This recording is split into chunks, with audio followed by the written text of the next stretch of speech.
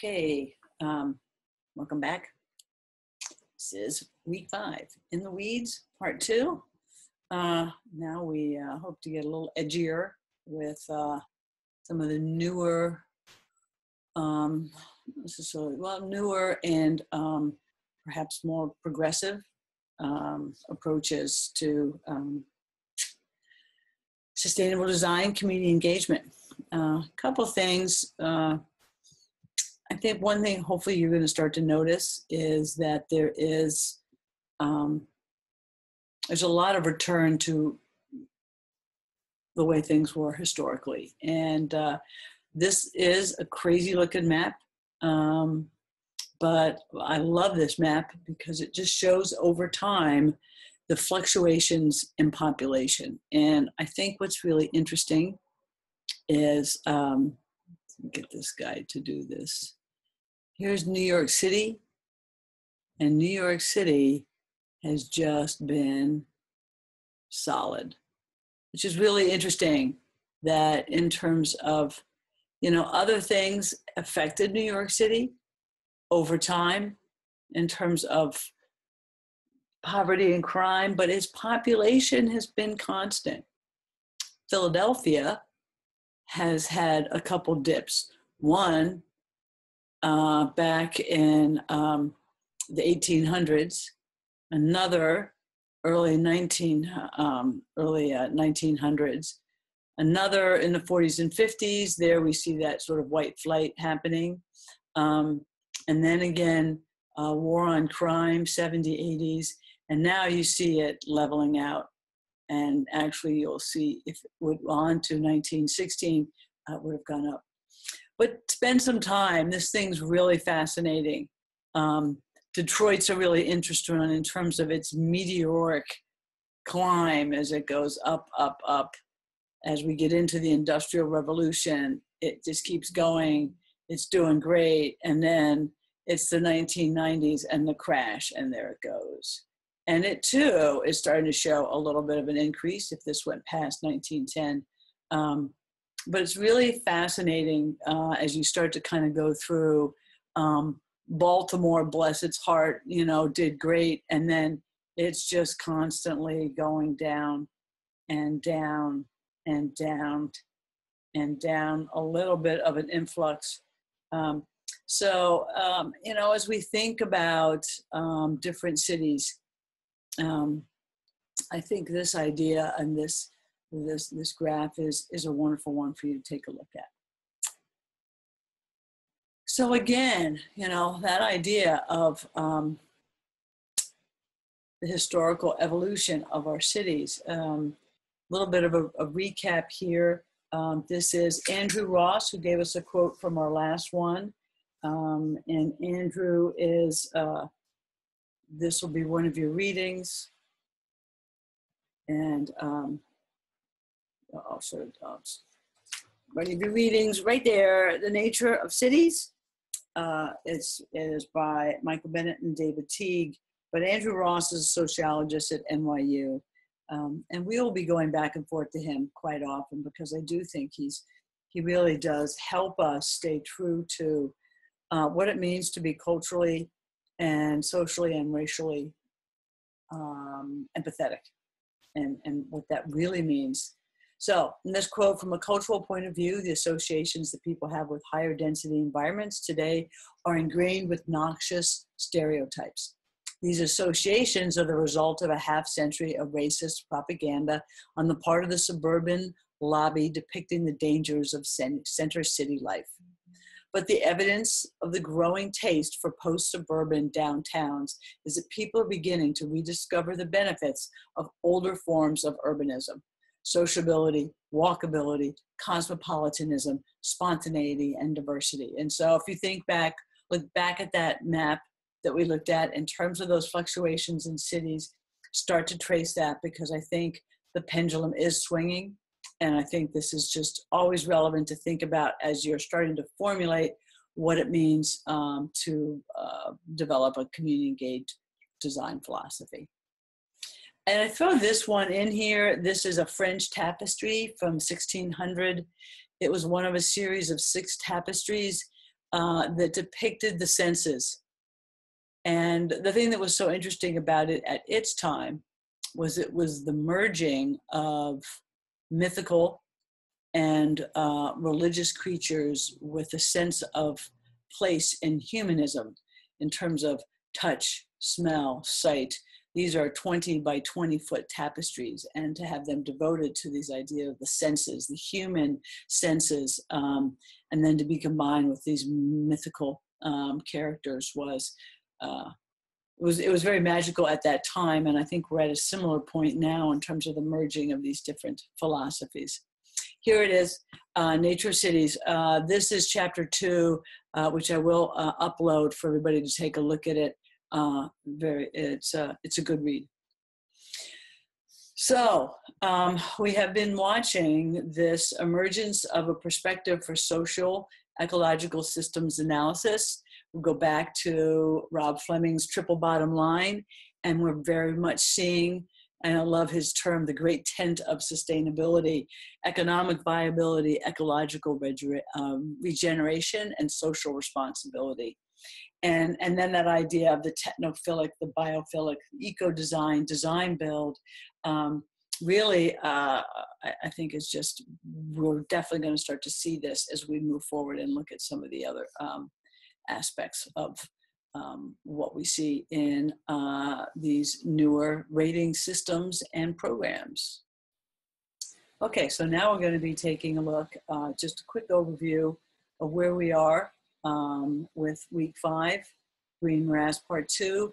We'll start off talking a little bit more about the Green Building Cert Certification uh, Company.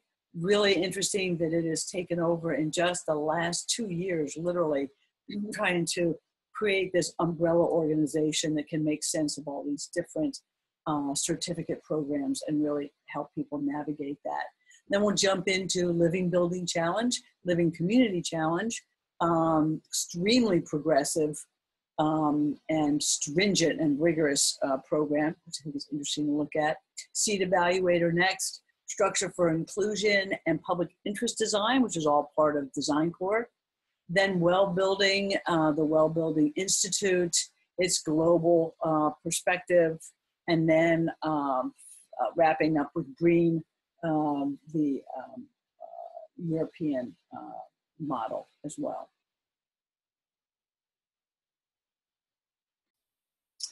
So the Green Business uh, Certification Inc., GBCI, um, was born out of um, one, uh, creating something that could help manage LEED, but then also manage this other collection of programs that you see here. So it is the, it calls himself, the premier organization independently recognizing excellence in green business industry performance and practice globally. Um, so um, it, it now has, and it I'm quite sure how it all worked. If they bought it, I think they pretty much bought the rights for it, but who knows. But they exclusively administer project certifications and professional cred- uh, credentials now um, for all of these. LEED, PEER, uh, International Well Building Institute, the SITES initiative. We talked about SITES last time. We talked about LEED last time. Um, EDGE, uh, GRESB, Parksmart, zero waste. Uh, and uh, fairly soon, if not already, I think um, we're going to see BREEAM come into this. We're going to see them all come into here because it just makes sense for one organization uh, to basically administer these uh, certifications. Uh, it really will, will help out uh, tremendously. Okay, so um, couple reasons why the Living Future Institute and then it's living building challenge and living community challenge um, it's so rigorous it is more rigorous than LEED or BREEAM and a lot of that is based on it on two things one its certification is based on actual rather than modeled or anticipated performance um, and uh, it is um, not based on a ratings numerical rating system the things you must do or mandates. Uh, so it becomes uh, a much more rigorous program.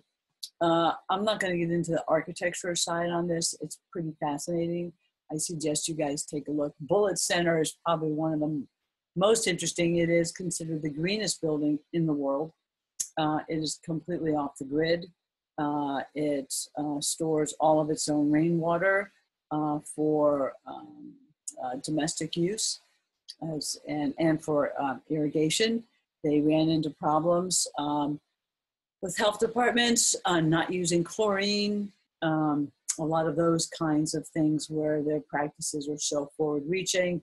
The bank is used to a 30 or 40 year mortgage. They said we need a 250 year mortgage because that's how long the building's going to be around. Um, uh, it is completely off the grid. It has composting for all of its uh, sanitary sewer.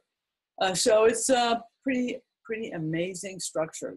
I should uh, read up on it. Um, but if we look, uh, a lot of the similar attributes or, or mandates or tenants uh, apply to the Living uh, Community Challenge framework as well. Um, healthy for all elements of life, uh, nurturing and generous places that promote healthy lifestyles for everyone, net positive with respect to water and energy. So example on the solar panels on the Bullitt Center we just looked at, they actually are generating income because they are create they're making more energy than they use, and so they're selling that back to um, Public Utilities Commission. Um, so they generate their own energy and they capture and treat all the water they need. So they're completely, completely off the grid. Uh, design using multi-purpose elements. Nothing has a single purpose. Everything has more, multiple benefits to the community and the environment. Regenerative spaces for people and natural ecosystem. The places are walkable, bikeable, and affordable public transportation. Um, it has a, a, I thought this was probably the best one, and this is um, more for the building, uh, but I think it's a it's a good one, and it does apply to the community. But it really sort of shows this idea of um, landscape and systems, renovations, buildings, um, and really looking at you know their main things: place, water, energy, health and happiness, materials, and equity. Um, so we're seeing some terminology used here now that is more around um, social resilience, um, health and happiness. Um, and what's interesting with that one is you're looking at a civilized environment, healthy interior environment. Well, I've been hearing some things like that, a biophilic environment. Um, so that really becomes interesting when we see this kinds of terminologies coming in um, they're big on their materials, their red list of what to not use, um, uh, net positive waste, um, li- living economy sourcing, um, really some, some interesting uh, elements in there. Energy, net positive, water, net positive, uh, place, human powered living, habitat exchange, urban agriculture, limits to growth. So those are um, I think this more so even than sites. Um, uh, there's really uh, uh, some pretty amazing things in here uh, when you start to sort of take a look at this. So, um, um, human scale, human places, universal access to nature and place. Um, so they really start to, um, I say, I think explore quality of life in, in the way that uh, Rob Fleming talked about um, the notion of uh, the quadruple bottom line, which is experience, and the importance of experience and how that fits into um, uh, um, um community engaged design and just an enjoyable place to be. We're going to take a quick look at uh, Rob's lecture on biophilic design. Um, it's interesting, this is also part of the International Living Institute. Uh, here, they're really interested in getting away from theory and more into reality in terms of the practice.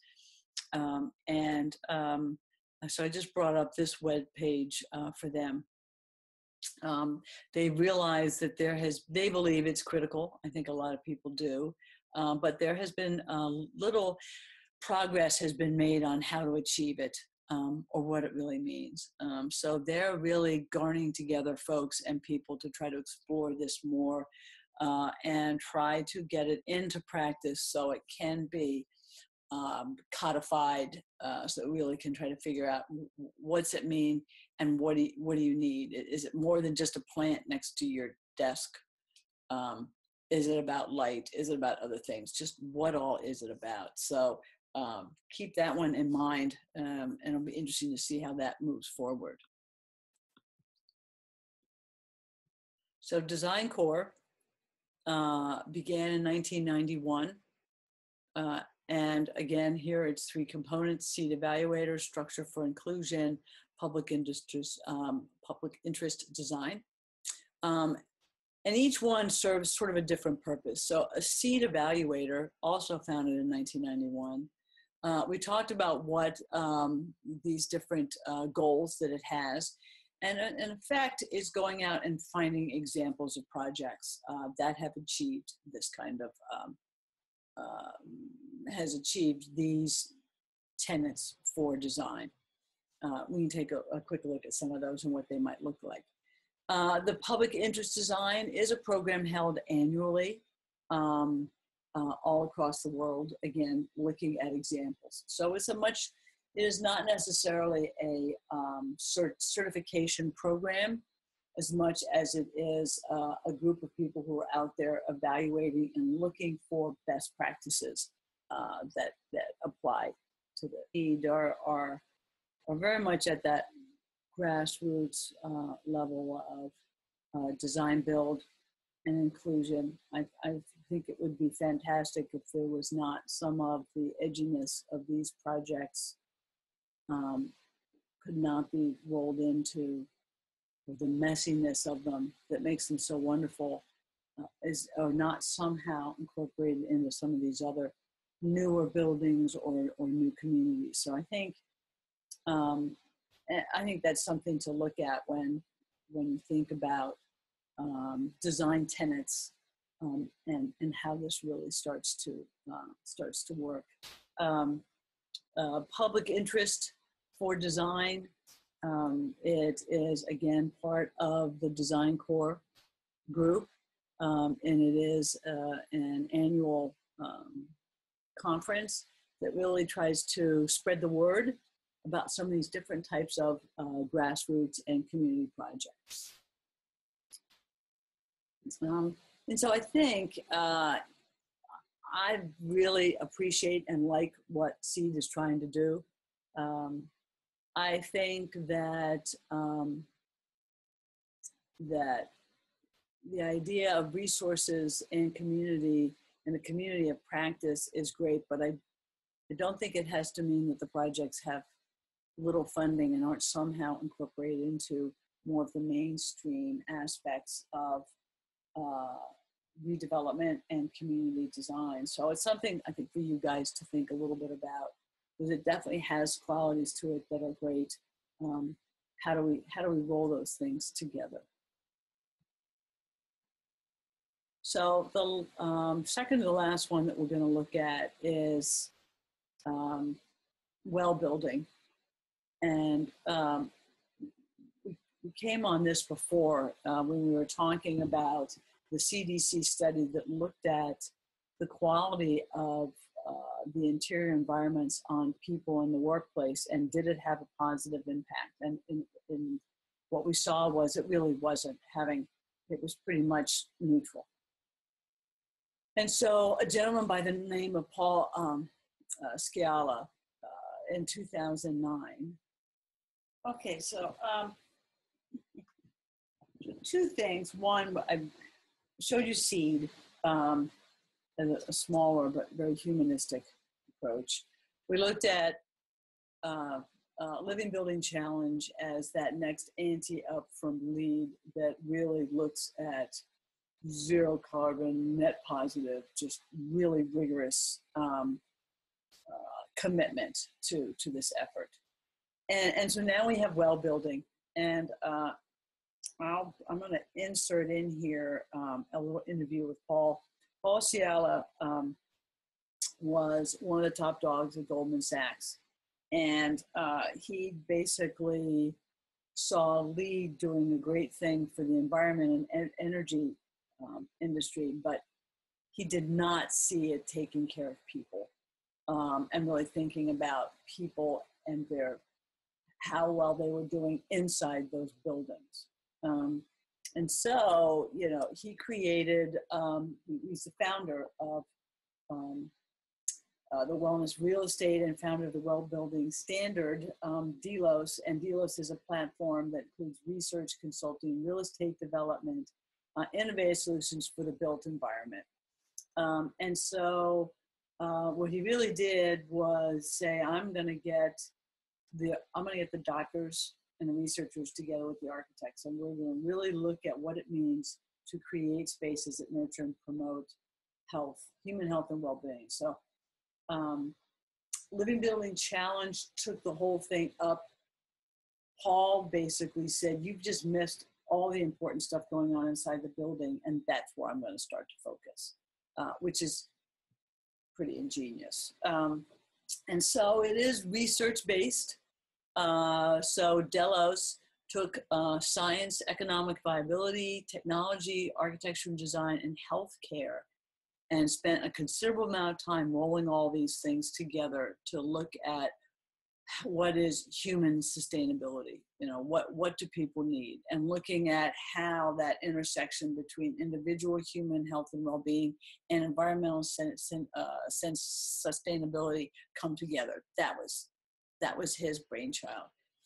And so well building um, uh, since that time has moved into uh, a, just all kinds of stuff. Um, it is free, unlike um, uh, LEED certification. It has levels of certification, uh, just like LEED does, and it focuses on air, water, nourishment, light, fitness, comfort, and mind. So, again, it's really taking this human approach to these aspects of it.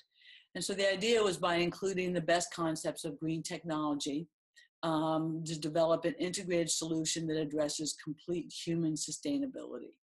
Um, the international and, and so well building has moved into the international scene thanks to a grant from the Clinton Foundation to create the global initiative um, to improve the way people live um, and uh, sharing all this information globally. Now, the thing that is interesting with this, um, uh, and before we jump to well, then not along comes, but BREEAM um, is our last one that we're going to take a look at, and um, BREEAM is uh, uh was developed during the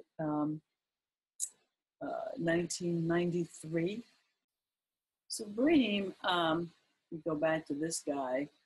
25 years it's been it's been around it's right up there uh, with LEED. uh, it is uh, very much global very much international.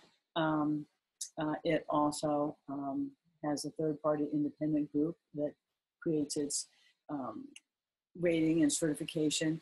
Its categories are communities infrastructure new construction in use and refurbishment and fit out. And I guess a couple things I would say here communities, it is very much about new community planning and master planning. Um, uh, and so the idea of community engaged design when it's a new community, new people, uh, I don't think it's quite as relevant to the things that we are working on. Feel free to dive in and check it out. Uh, refurbishment is very much at the building, so it's very comparable to LEED's um, operations and maintenance and refurbishing existing buildings. Um, uh, what is interesting is if you go and check them out, uh, you'll find that you can find out for each one of those standards, technical standards that they have for the US. Uh, the only one that's applying right now is in use. Um, everything else doesn't really apply uh, to our country, but they certainly are in all these other countries um, involved uh, in, in work. Um, and so BREEAM is, I would say, quite similar in a lot of ways um, to our other projects. I don't see anything that innovative, uh, perhaps in the um, infrastructure. Uh, I think we see something. but what's been really interesting is the most recent thing to happen um, is that uh, the International Well Building Institute, Paul uh, and Bree basically um, have an agreement between the two organizations to align their well building standards with BREEAM. So again, we're seeing these two organizations come together. And if you remember, well building standard, uh, it's third party organization that manages it, it, it, in the States is the Green Building um, and, and uh, Green Building Institute. So uh, we're seeing more and more now just in the last this was november of 2016 so um, i think what what we're really seeing now all these organizations are coming together uh, uh, not necessarily to change but to make sure there is an alignment of certifications. Um, and so what's the what's the take home on this and the green morass? I think the one take home is it's been a year since I dived in and checked out um, all of these different um, certification programs. In that year, there have been no new programs, but there has been a combining of certification programs. There's been a willingness to kind of bring the green morass into a place where um, it makes sense for the user, where you can really start to look at what the benefits are between them. Um, so uh, we will um, next week uh, look at, I think, what I see is the next great level of innovation. But as we're leaving uh, this sort of landscape architecture, architecture um, developer because you could clearly see a lot of these folks that we have been talking about and these certifications are heavily development and developer uh, driven um, couple things that we are seeing one is uh, rejecting the dated human nature dichotomy and define ecology as including humans uh, LAF is the Landscape Architecture Foundation, which had its 50th anniversary this past June. And at the end of a three day retreat, these were the sort of concluding aha moments that everyone had. The next one was to master charismatic, implementable, resilient, and ad- adaptation strategies um, because climate change will be worse than we realize. Uh, to embrace science based predictive models, understand all strategies in the context of human behavior and organizations, to be braver, more radical, we must look upstream, not just follow the money to where it lands, and then diversify our field with big ideas about equity, ecology, and climate. Um, and so, for those of you that have looked at the uh, 100 plus change, um, I think what hopefully you're starting to see is as you develop your personal ideology and your philosophy, there are there is evidence out there uh, of successes in different models um, and fragmented. So I think part of your goal will be at the end of this class as you start to have a chance to see what has been possible, uh, where are the gaps, where are the fragments, um, and what you mm-hmm. might see pulling together to be that next big idea that someone would give you $100 million to fix. Um, and so I'll leave you with this because next week uh, we will start off with the wonderful and entertaining Theaster Gates and his Chicago Place Lab uh, because he has um, really started to crack the code on how you get artists and and and community members to take ownership working in concert with designers and developers and, and not in the typical paradigm uh, that we've seen in the past of, of the uh, client doing community engagement, really turning that thing upside down and on its head. Uh, so look forward to seeing uh, what you guys think about that.